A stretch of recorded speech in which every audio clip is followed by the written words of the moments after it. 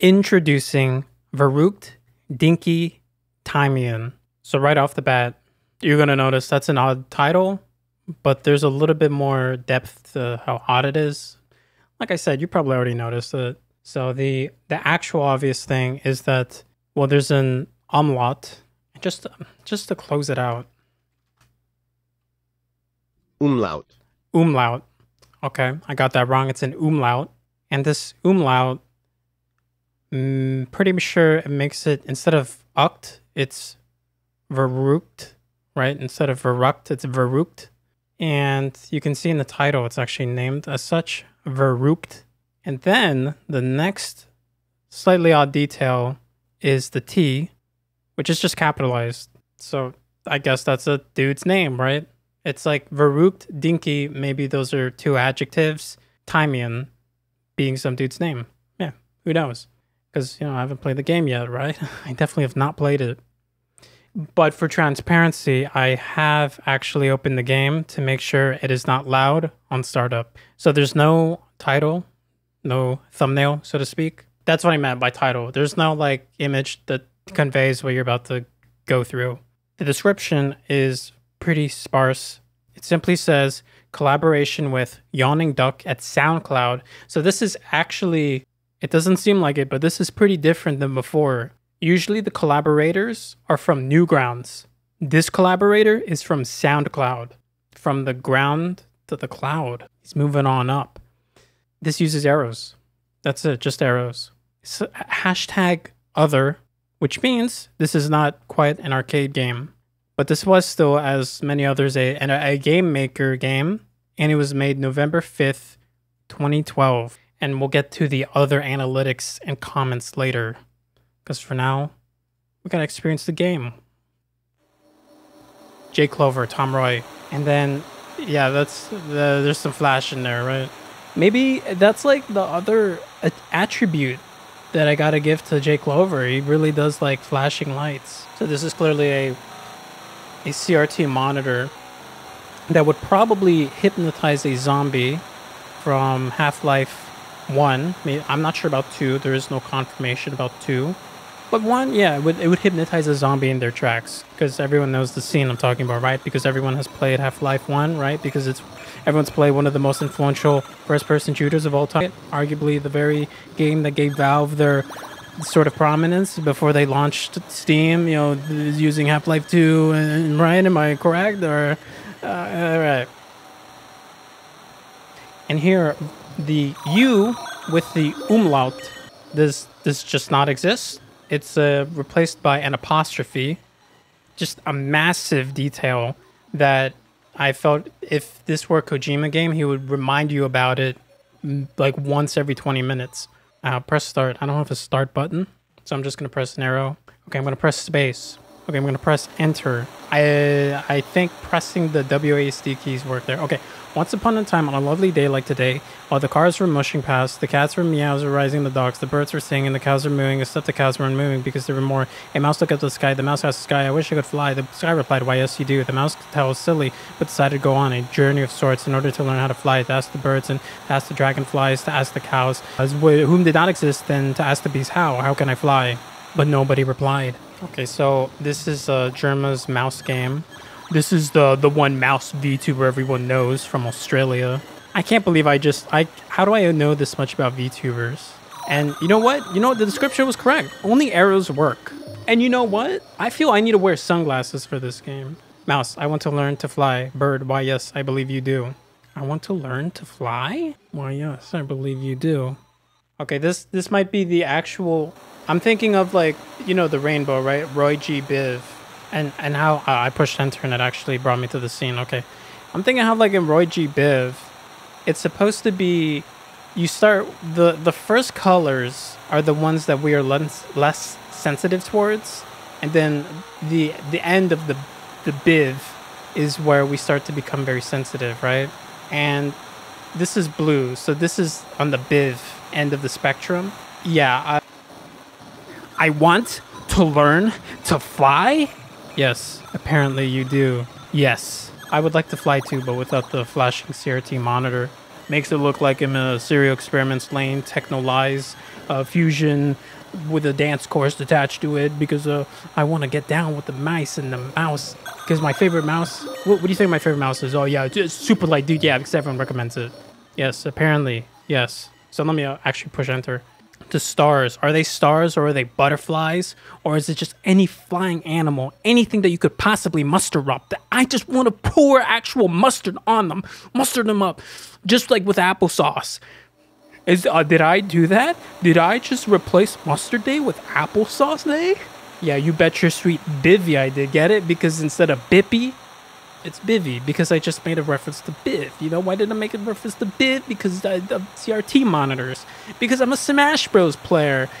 Oh, but that also means I'm canceled. I think that's that's why I cut it off. I think that's when it doesn't even matter what else I say at this point because I'm I'm gonna enter like a 2015 debate about a certain let's say socio-political issues and then it's gonna like kind of age poorly when you realize the figures who were involved in it you know, you know what i'm talking about. You know everyone knows what i'm talking about. Um, i hope you do.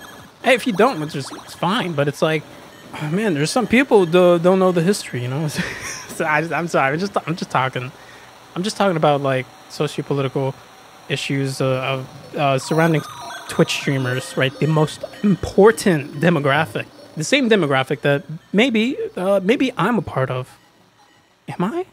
But I'm not. I'm barely a streamer. I'm barely anyone. For all I know, I'm just talking to myself. This is the void. This is this is the point where I, I'm I'm actually gonna put on my glasses with reflective rims to hopefully send some of these Blu-rays back to the PS5 where they came from. Because I need a Blu-ray player actually, and I also probably need a PS5. Because I need to play some PS games. I need to play Bloodborne.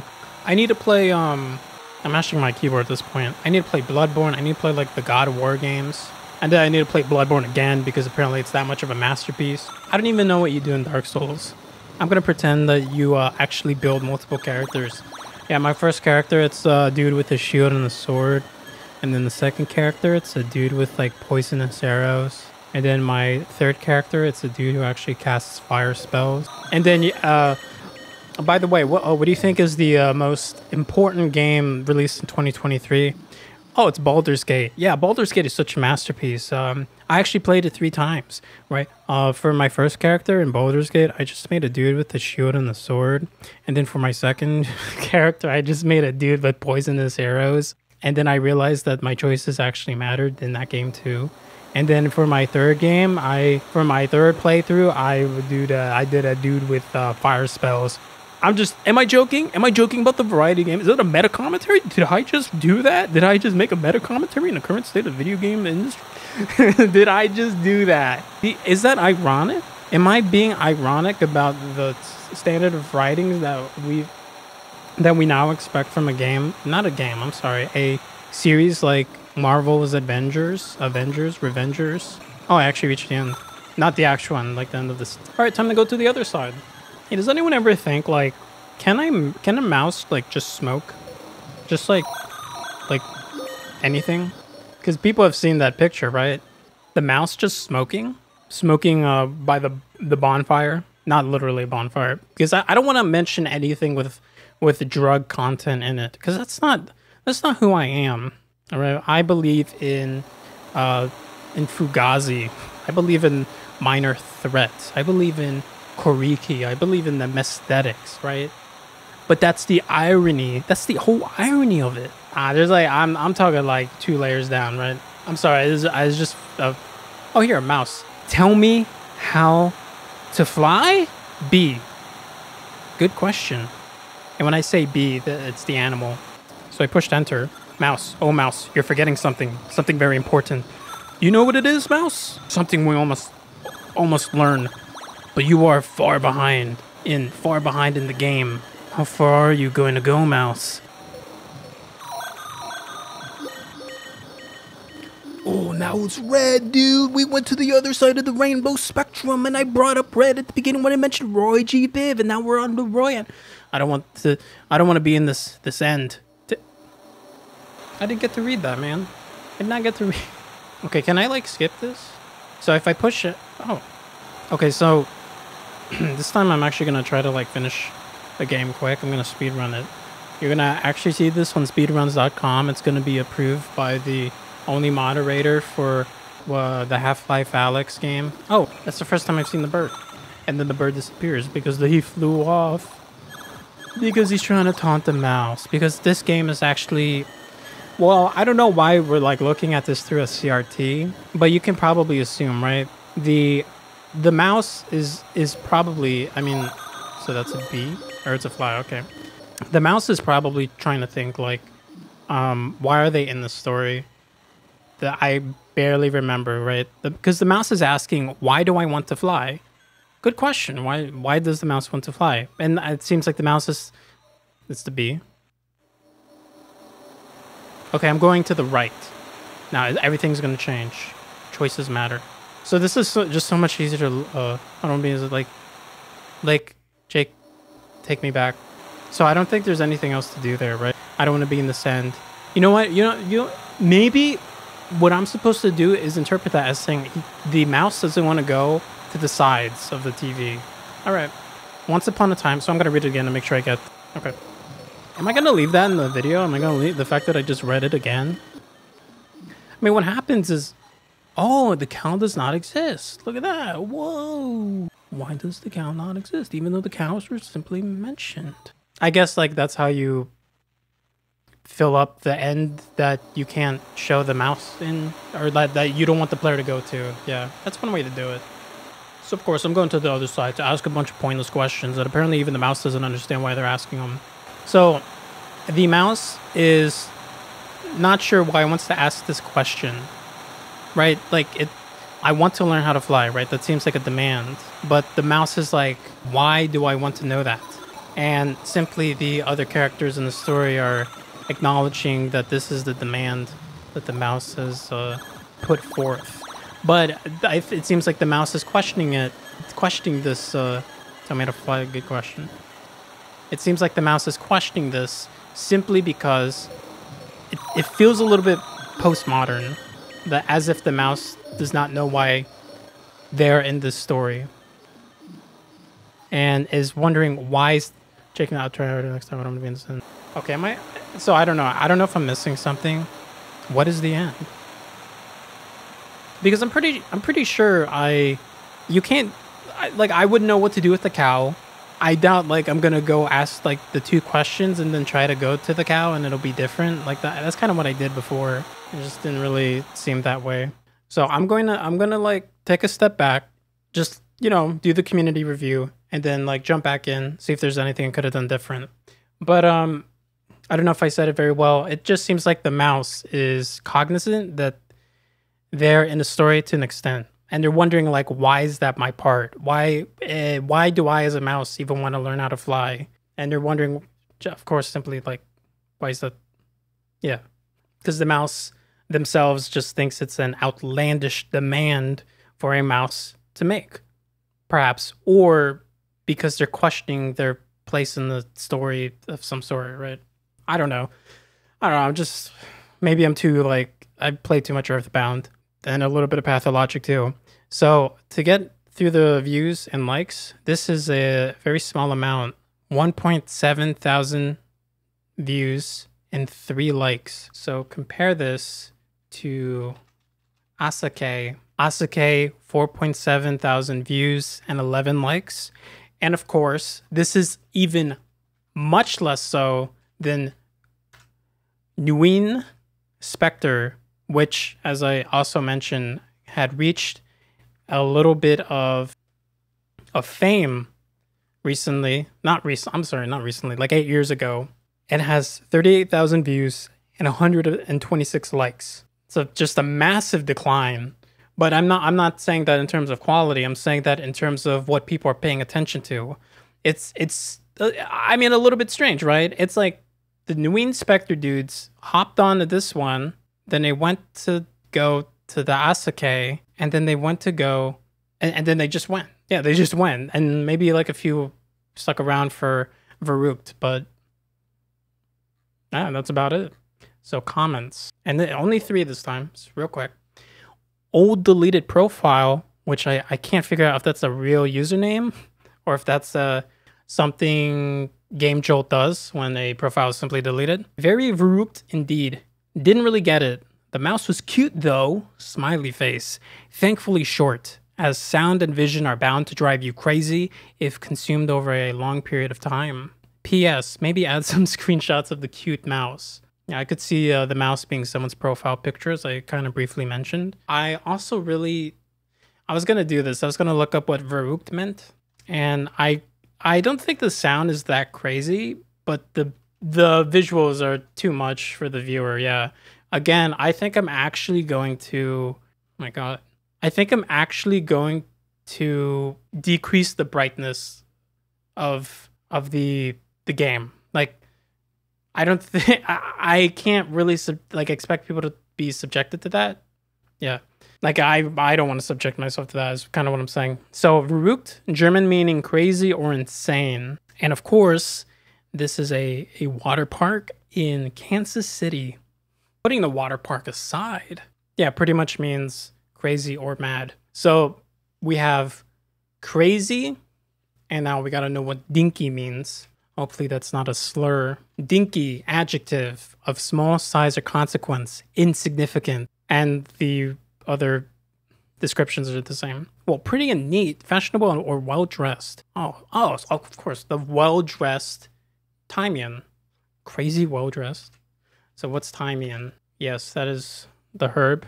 I mean, we all knew that. Thymian translation. Thymian in English. Okay. And we got the RNA. Where's the DNA? I don't remember. Okay, whoa, whoa, whoa, whoa. Time, Thymian, which is I uh, apparently just a reference to the herb used to season food, and that's just how you say it in German, right? Because this is translated from from German. Password German English. Why? What does the password mean? Thymian, a type of sweet-smelling herb used to season food, from the German English dictionary. Okay, what about time? Unless it's just you know another way of like the concept of time, but I don't think that's what it is referring to. The name of the genus of fish. I hope that's how you say genus. Okay, well that's a fish. Okay, here here's the history of it. Thyme is indigenous to the Mediterranean region. Wild thyme grows in the Levant, where it might have been first cultivated. Ancient Egyptians used thyme for embalming. The ancient Greeks used it in their baths and burnt it as incense in their temples, believing it was a source of courage. The spread of thyme throughout Europe was thought to be due to the Romans, as they used it to purify the rooms and to give an, an aromatic flavor to cheese and liquors. In the European Middle Ages, the herb was placed beneath pillows to aid sleep and ward off nightmares. In this period, women also gave knights and warriors gifts that included thyme leaves, as, in, as it was believed to bring courage to the bearer. Thyme was also used as incense and placed in coffins during funerals. It was supposed to assure passage into the next life. Okay, so this is maybe that's meaning meaning crazy or mad. Dinky meaning insignificant, and Thymian meaning just this herb, like a crazy insignificant herb, which uh, which is interesting because I think most people would not consider this herb to be insignificant, you know, considering the history of it, or crazy because it's a source of courage, of course. But it is very verruckt indeed. Yeah, that is. Uh, I tip my hat to you, uh, good sir, and a scholar, and apparently a little bit of a German translator. Indie Game Hunt states absolutely beautiful, even if all you do is walk left. That distorted cathode visual effect is great. Did the mouse ever get to fly? Well, I mean, does the mouse even want to fly? Seems like the mouse is only asking the question, why does it want to fly? Jilligow, of course, of course, of course. I don't really get it. Is there perhaps a moral? I like the visuals and the mysterious atmosphere, though. It's only a minute or two long. I'm not sure whether to recommend it or not. It's interesting. Interesting. Yeah. Because that's why we make games and pieces of work, right? Because it's all interesting. I, okay. I don't like the visuals, though. I like the atmosphere, but I don't like the visuals. And of course, we gotta go. Gotta go to because uh, maybe maybe there's some here. Maybe there's some on Glitchwave. It's gonna like blow the entire thing open, gonna make us understand like what we are missing, or maybe just no one cares on this website as well. 1.95 out of 5, so that's a 4 out of 10. two ratings. Oh, nothing. All right. Five out of ten and a six out of ten. There you go. Wow, that was that was it. That was it. That was that was real quick. Okay, whoa, that was quick this time. And you know what? Yeah, let's just get into the review because like I I'm not gonna theorize anything more with German words. So for the mechanics, you just use arrow keys to move left and you win. Up and down, do nothing. Moving right, you're not supposed to. Just move left and you win. Easiest game I've ever played. Easier than Splodem Down version 2. Resource management, none. There's nothing you have to manage. You don't even have a life or stock. Fun. Uh, yeah, it gives you some thoughts. It gives you something to think about. To just if you want to entertain the thoughts, uh, that is. Maybe for some people, like they'll they'll enjoy reading the Metal Gear Solid lore more than they enjoy thinking about this game. I mean, that's that's of course depends on it's up to you. Ease of use, yeah, it's like like I said, it's one of the easiest games I've ever played. You move left and then you win. So for graphics, it's just a drawn draft style. It feels like someone was drafting you know how to draw stars or butterflies and what was it a fly, a bird, a bee, and the outline of a cow. The TV itself was pretty realistic. It seemed like it was a 480p image of a TV. And as I kept saying, I really did not like the flashing. I really did not like the flashing CRT effect. It hurts my eyes. It's up to you to to to question if I'm being really sensitive or maybe there's a real problem there or maybe I wasn't supposed to stare at it as long as I did. Because for a while there, I was just like saying random BS instead of actually playing the game. You know, I wasn't even looking at it sometimes. I was like, I was just like looking away from it. To be honest, for this, for the soundtrack, I would say it's a bit crushed ambient. Maybe something that you would kind of hear on volume beta of the Minecraft album. But I'm I'm being like I'm kind of exaggerating a little bit because that that album has so many different styles on it. But think of it as uh, the the song "The End" on beta a little bit. It's not the best the best comparison, but it's one. I also think that if anyone here is a real Joseph Anderson fan, this is one of like one of his themes has like a bit crushed instrument in it or part instrumental part in it. It reminds me of that. Like there's also a sort of like bit crushed or chip tune influence that you can hear on the Risk of Rain soundtracks by Chris Christodoulou, which I think is how you pronounce a Greek surname. That's my best comparison. And for sound design, there's basically nothing. I can't think of like there was no walking sound. There was no sound made by interacting with the main animals in the story. Maybe there was uh like the the sort of white noise from the TV. Maybe I'll I'll, I'll briefly bring it up. There's some white noise, but I think that's just because it's like bit crush sounds.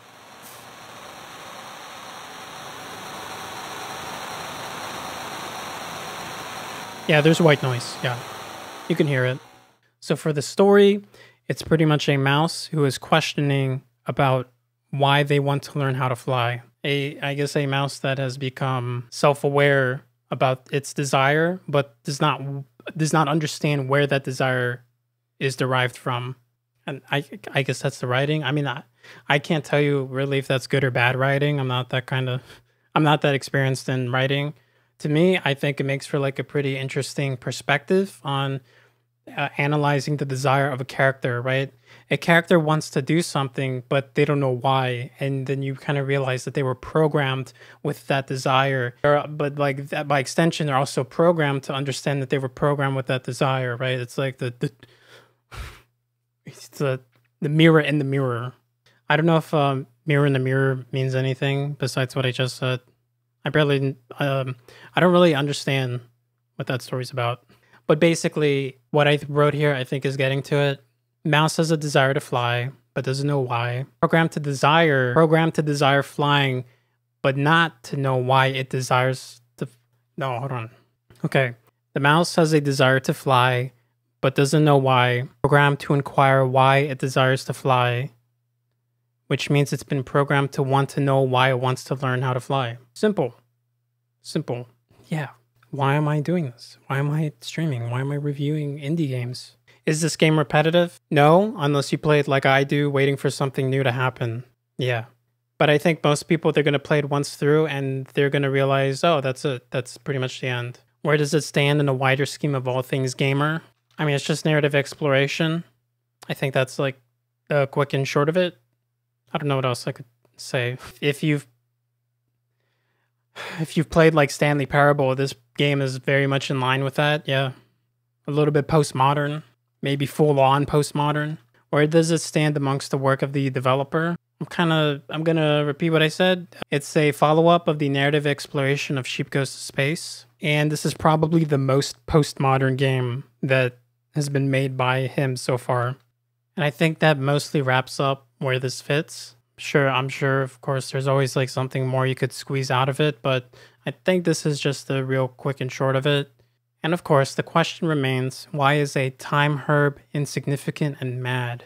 What I'm guessing is the the Thymian, it's either just like the misspelling of the word time or it is the name of the mouse being insignificant and crazy. I'm I'm pretty if I recall correctly, there was a time when the word when the word time was was meant as the concept, of course, of time, but spelled as if it were the herb. So yeah, it's just like the German wife saying time, but but it refers to the herb. But it's like a sort of wordplay, which is actually meant to refer to the concept of time that we we would uh, receive on our clock. Because I'm pretty sure the mouse doesn't have a name now that I think about it, because otherwise the mouse would be referred to Thymian. So I don't know, insignificant and crazy time. Yeah, I could see that. Like, yeah, you know, like how sometimes you have a good time. Well, no, I had an insignificant and crazy time. Now, yeah, as as best I could come up with for this narrative exploration postmodern game. And with that said, I'm gonna label this game as postmodern narrative exploration. So GG's good games. Yeah, that's all I got. Poof.